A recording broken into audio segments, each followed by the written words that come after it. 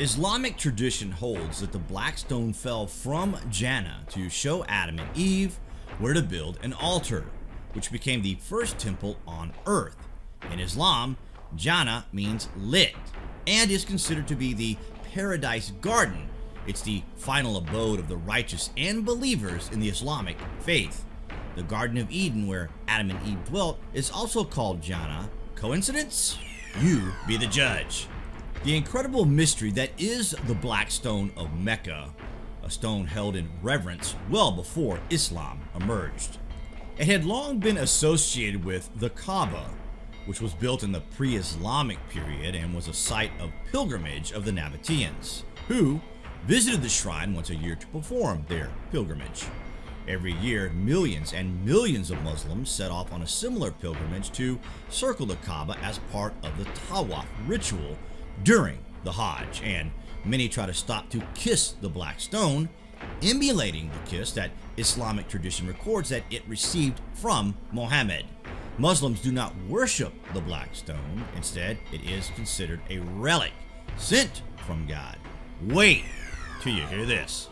The story of Adam and Eve existing around the tree of life in the Garden of Eden is a perception witnessed by observers on the earth. The black stone of the Kaaba was thrown down to the earth during these perceptions, and because the people witnessed this, they thought the black stone was sent by God in order to build an altar.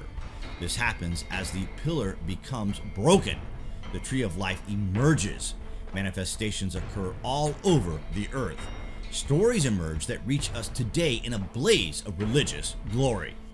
Muslims kiss the black stone in the fervent belief that it came from God in paradise and because it was the usual custom of the revered prophet Muhammad.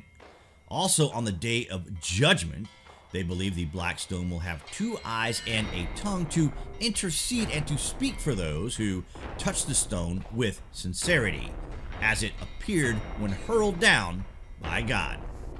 They kiss it with the certainty that there is some good in it, and that touching or kissing the stone will benefit them not in this life, but ultimately in the hereafter.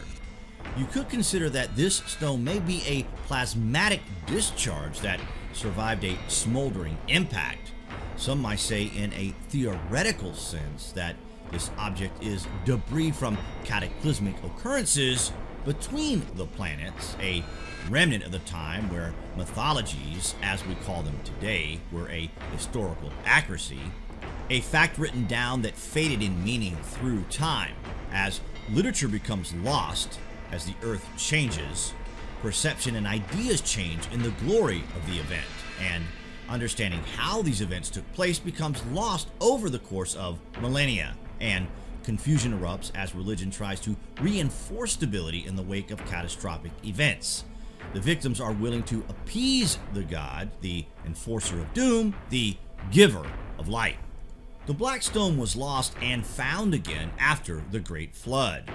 Abraham, who found it, built a second altar to make sacrifices to God, and it's said that the stone was originally white, turning black after absorbing the sins of the earthlings.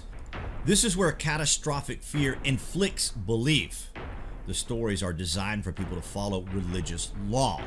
Only the fear of God keeping their faith, the trauma of the cataclysm, enforces their thoughts.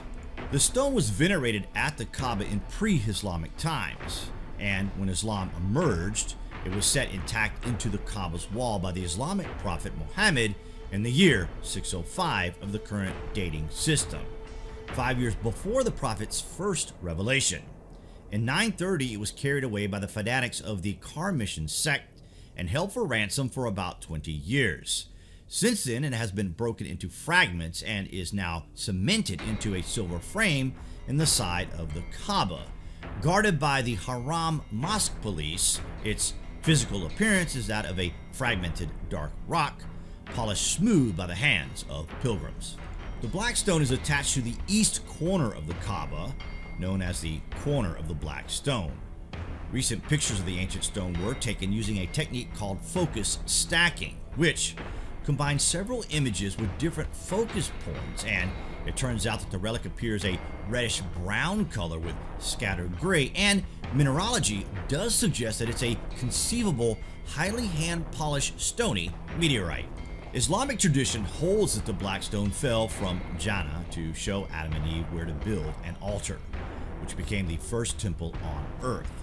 In Islam, Jannah, lit, paradise garden, is the final abode of the righteous, and the Islamic believers, the Garden of Eden, where Adam and Eve dwelt, is also called Jannah if it fell from above.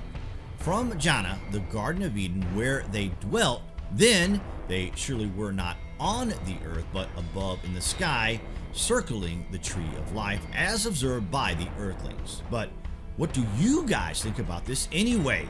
Comments below, and as always, thank you for watching.